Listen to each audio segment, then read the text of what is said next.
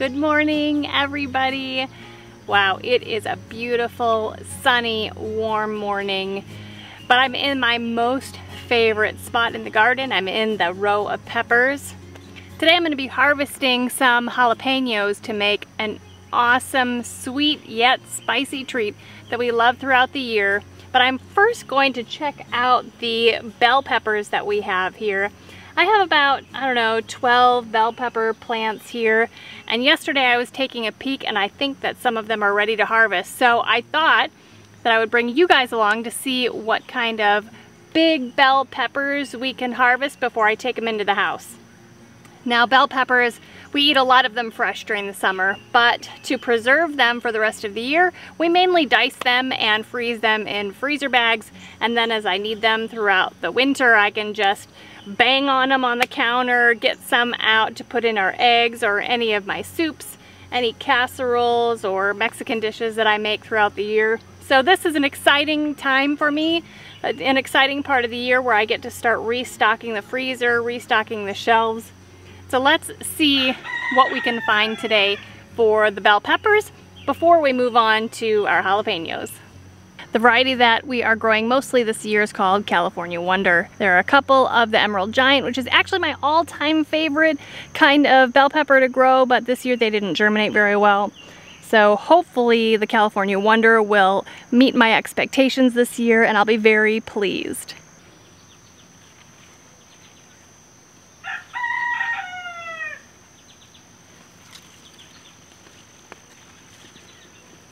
Well, these first couple of plants have lots of baby peppers starting, but not big enough for me to harvest yet as far as I like. I like for them to be nice and big and mature and that will make sure that the, the walls of them are nice and thick and juicy and sweet.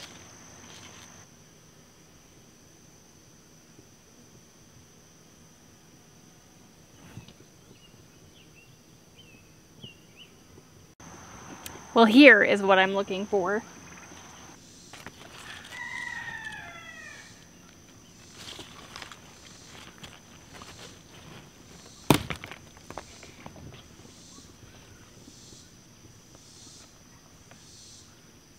That is a nice bell pepper.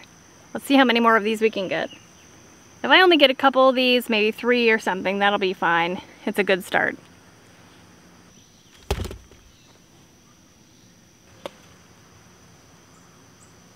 Another nice one.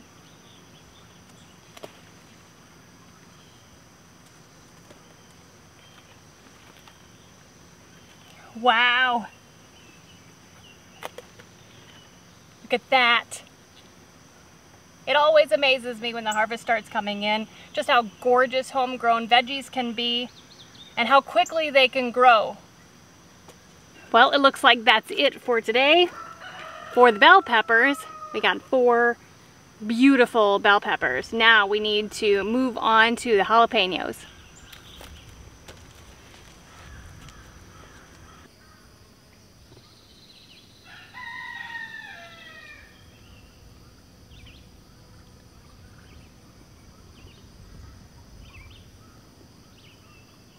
This year we're growing two varieties of jalapenos. One that is spicy called Craig's Grande Jalapeno from Baker Creek.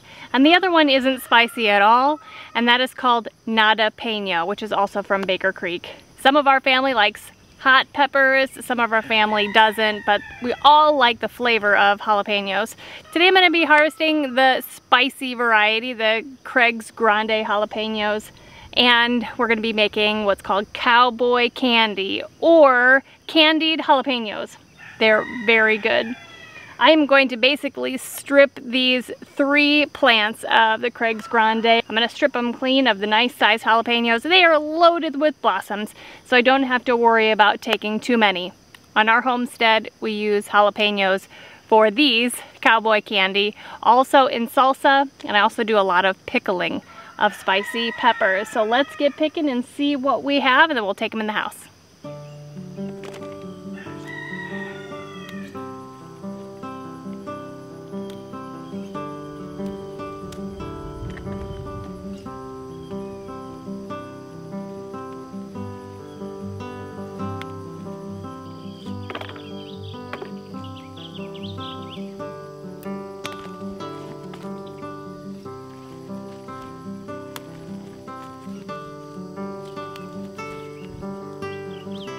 A couple things we've been noticing this year in the garden, which is fantastic, is that we have a lot of ladybugs and we have a lot of dragonflies.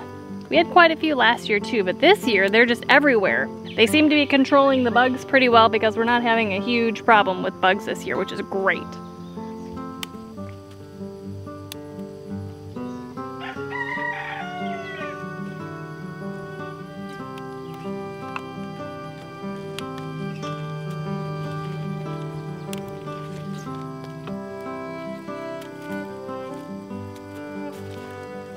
Now that we're in the house, I just wanna show you again these green bell peppers, just so that you can see the size of these guys. I am so pleased with our first harvest of these bell peppers. This is what makes gardening so exciting. The end result with these gorgeous vegetables. Anyway, I just had to show you uh, these guys again. Now it's time to set them aside and get started preserving these jalapenos. You know, at this time of the summer is when things get really busy with harvesting and preserving out of the garden. And it's this time of year that I tell myself, if I am not canning or preserving something every day, I'm gonna get behind. And with our goal to grow and preserve as much of our own food as possible every summer or every growing season, it is imperative for me to harvest and preserve every day. So this is gonna be something kind of fun for me to share with you guys. Candied jalapenos or cowboy candy isn't something that's going to sustain you uh, in a meal. It's really a fun addition to a meal or maybe an hors d'oeuvre. Now, I haven't even really explained to those of you who don't know what cowboy candy is or what uh, candied jalapenos is. It's jalapenos that are preserved in a sugar syrup, a flavored sugar syrup. I'm gonna be canning them so that they'll be good for up to two years on the shelf, although we will eat them far sooner than two years. And they're just really tasty and spicy. Now, my favorite way to eat this cowboy candy is on crackers. Crackers and cream cheese. You know when you go to parties and they serve like a block of cream cheese and on top of it they dump like jam or something like that. These cowboy candy jalapenos on top of a block of cream cheese with that syrup on top eaten with crackers is so good. But Kevin's not a cream cheese kind of guy. He actually likes cowboy candy on top of a burger and then to put barbecue sauce on top. That's his favorite. Okay, so now you know what it is. Now you know a couple ways to eat it. Let's get started making the cowboy candy.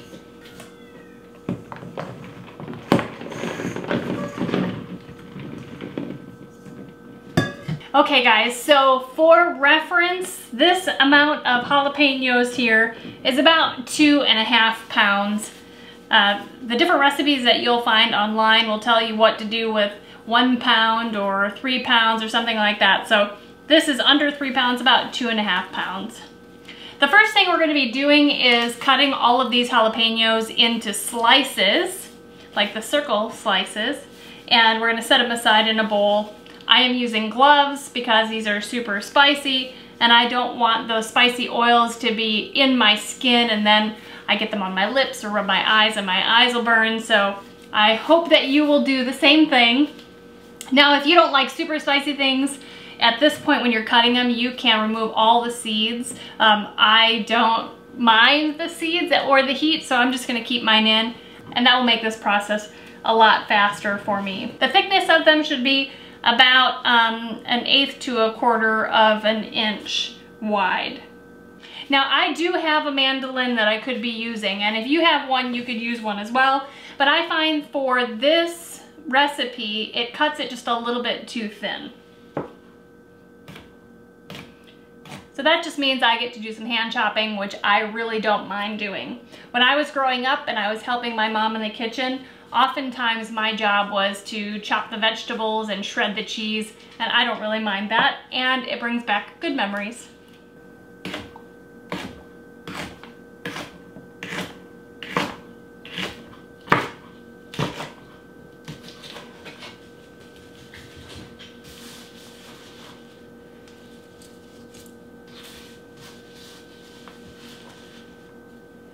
Well, that amount of jalapenos made a nice sized bowl of these rings. So now we just need to get this cleaned up and we're going to get started making the syrup that will go with these jalapenos. The next step is to make the syrup that we're gonna pour on top of the jalapeno slices. Now syrups have a lot of sugar and so does this syrup. If you're just having a little bit of it every once in a while, a lot of sugar isn't that big of a deal. So I'm not too worried about it. So we're gonna start this syrup out with two cups of apple cider vinegar. I know that seems kind of strange to be using apple cider vinegar as the only liquid in this syrup, but it makes a real nice, tangy, sweet, spicy end to it. Okay, we're also gonna be adding sugar, six cups of sugar. I'm using evaporated cane juice. You can use white sugar if you'd like, but this is just what we buy here on the homestead. We're gonna add that to the apple cider vinegar.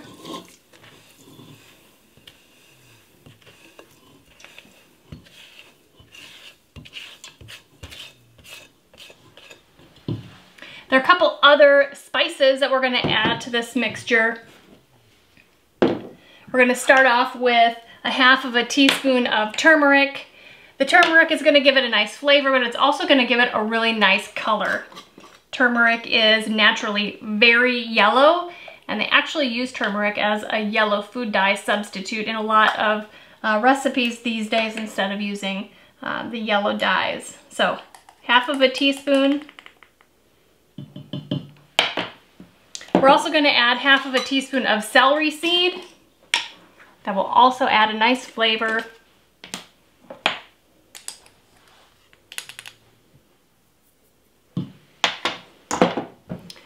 Three teaspoons of uh, granulated garlic or garlic powder.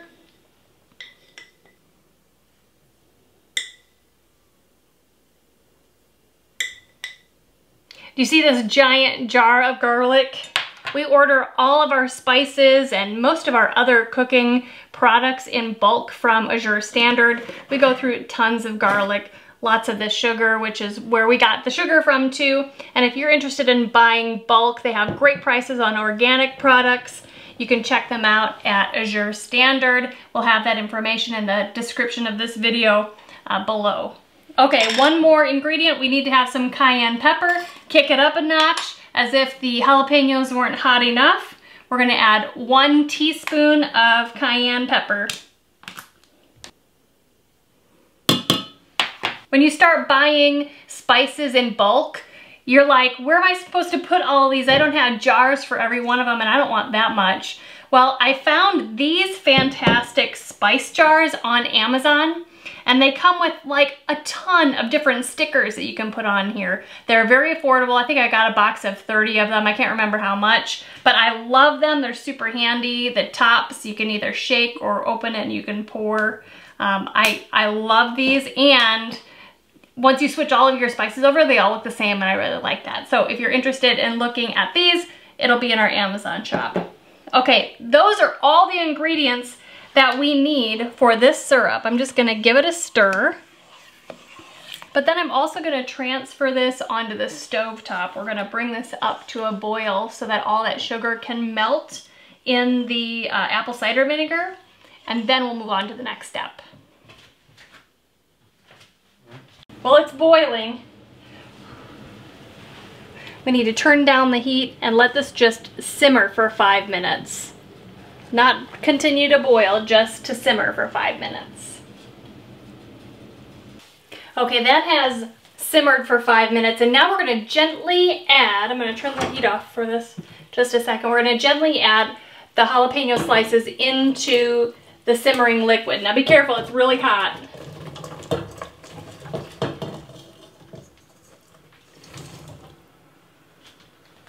We're gonna add that in there, stir it up, I'm gonna turn the heat back on. Just on like a low heat. What we're doing here is we're cooking the jalapenos a little bit to let them soften. Now we're gonna do this for four minutes. Set my timer.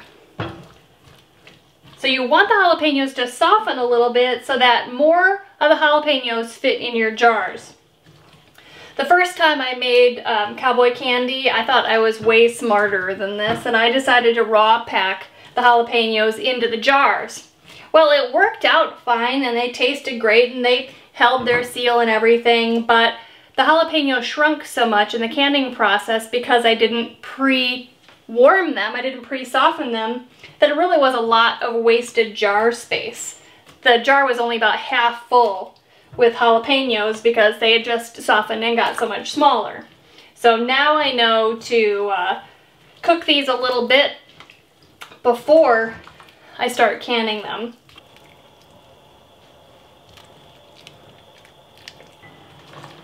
Now that those are done, I'm going to turn off the heat like I just did. And we need to ladle out with a slotted spoon all of the jalapeno slices.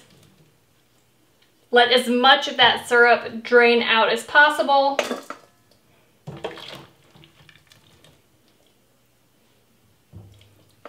And we'll be setting these aside because after we do this part, we need to bring that syrup back up to a boil and let it boil hard for, uh, for about five minutes. That will be the right temperature then to begin the canning process. So they're all strained out. You can see that they're a different color and they're a lot softer than before. So now, like I said, we need to turn this heat back on, bring the syrup up to a boil, and let it boil hard for five minutes before we can start the canning process. The syrup has started to boil, and we need it to be boiling hard, which means when you stir it, the boiling doesn't go away. It has reached that point already. I have set my timer. I had told you to let it boil for five minutes, but we're actually gonna have it boil for six minutes. When it's done, we'll be ready for canning. Okay, this is all finished. It's time to carry this over to the other counter so we can start canning this cowboy candy. This is a little bit different of a process than we've done before because the jalapenos are separate from the liquid, so we have two things to put in the jars. So I'm going to start with the jalapenos here, put them in the jar, We're gonna fill those all the way up to the top. I actually brought a whisk to push those down in there. Let me tell you that all of this stuff really kind of gets to you. So if you can open a window or have a fan on, that would be great. I don't have those things because I don't want any noise disturbance or the fan to affect my canning here. But just beware that it can kind of take your breath away. Okay, so I'm gonna check here, push those down. Now that we've got enough jalapenos in there, we need to backfill with this syrup. And we're gonna put it all the way up to one quarter of an inch from the top.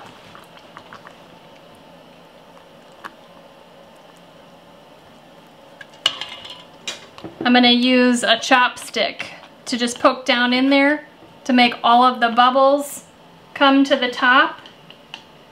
I think that's a good um, distance from the top, but I am going to check it with one of these little tools here. Yep, it's good. Now I just need to wipe off the rim of this jar. You know, this syrup is pretty sticky and it's really going to easily get on the rim of that jar and it needs to be clean before we put a lid on top of there. So make sure you wipe that off Put your lid on and a ring. We're gonna set this aside until we get all of them ready for the canner. Now I have my canner going, it's heating up on the stove uh, with enough water that it's gonna cover these jars by at least an inch or two. Okay, so let's put more jalapenos in here.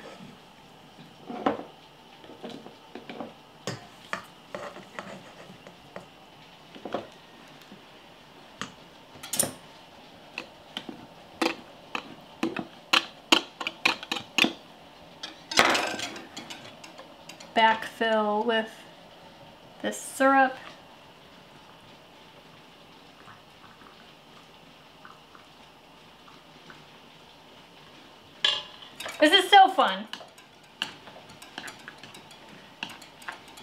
Get the bubbles out.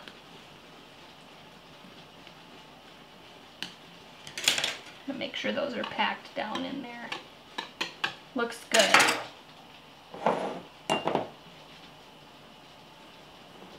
Clean that off again. Put a lid on and the ring.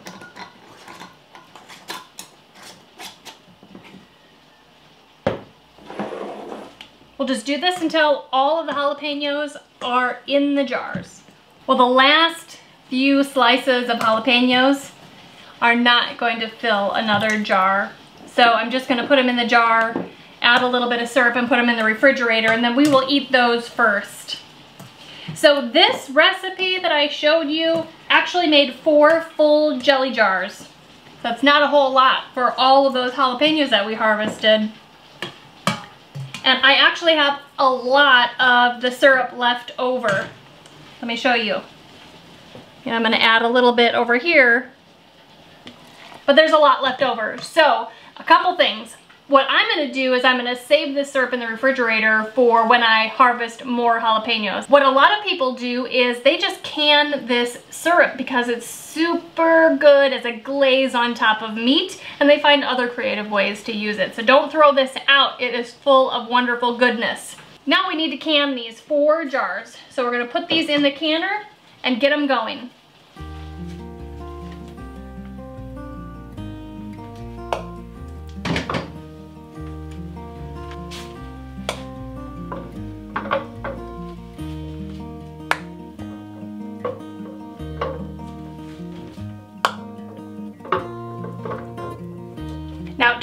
There's not enough water in that canner. No big deal, I'm just gonna add some to the top until it is the right depth. And I'm gonna turn the canner on and when it comes to a boil, we'll set the timer. Okay, that's all set. Now when this comes back up to a boil, we're gonna set our timer for 15 minutes. These need to process for 15 minutes. But check your elevation and make sure that it is not higher than is recommended for just standard times.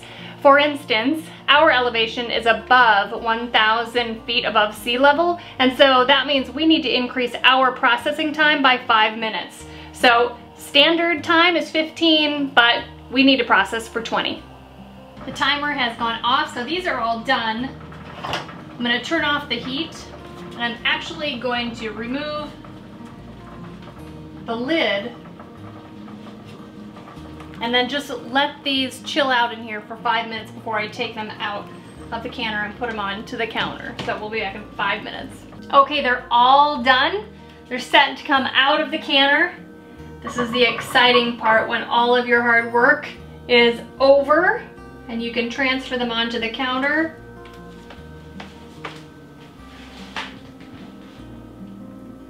They can cool down.